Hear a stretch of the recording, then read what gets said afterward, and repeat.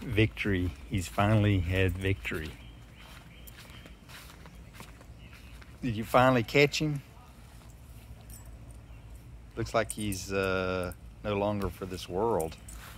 Are you happy? oh, you've been chasing that boy.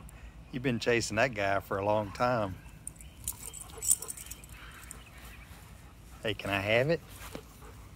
You gonna let me have it?